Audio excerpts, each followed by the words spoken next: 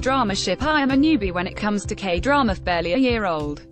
In the past year I have binge-watched countless hours of K-dramas and spent a lot of my lunch time at work scrolling through various K-drama related websites and most of it was spent on Dramabeans. I have always looked forward to writing on a topic that I knew enough of. When I saw that this month's topic is drama sequels, I couldn't wait to write about it.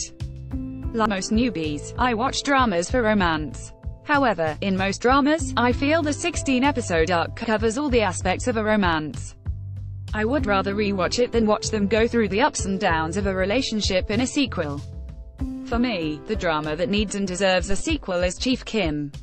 I can't believe I am saying this, especially when I was so skeptical about watching it and had even planned to drop it halfway. Also, I have to thank everyone at Dramabeans for recommending the drama. Why do I want a sequel? Two reasons, Nam Goong Min and Lee Jun Ho. Their bittersweet relationship at the beginning of the drama to their saccharine sweet friendship towards the end took romance to a whole new level. Most of the drama was fraught with mistrust and tension between the duo, though not at a villainous toxic level, they were more like frenemies.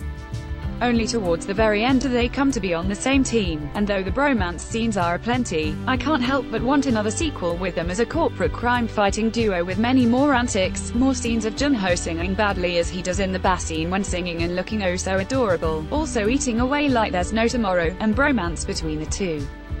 Nam Goong Min and Lee Jun-ho headlined the drama and anchored it extremely well, but what made every second of the drama even more fun and interesting were the secondary characters, such as Nam Sang-mi as the ethical and righteous assistant manager.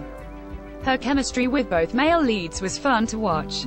With Nam Goong Min she went from being suspicious to a trusted and trusting friend, and there was the almost romance with Jun-ho. A sequel can definitely develop both these storylines. And with Jun-ho being so good at his new romantic roles, just between lovers and Greasy Melo, I can't wait to see him being mushy in an office romance.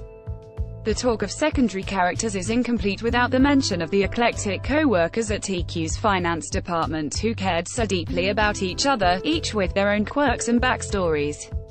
There's also the bumbling duo of investigators who were so much fun to watch, with the bumbling rookie spy and her spying skills and the quirky investigator she reports to.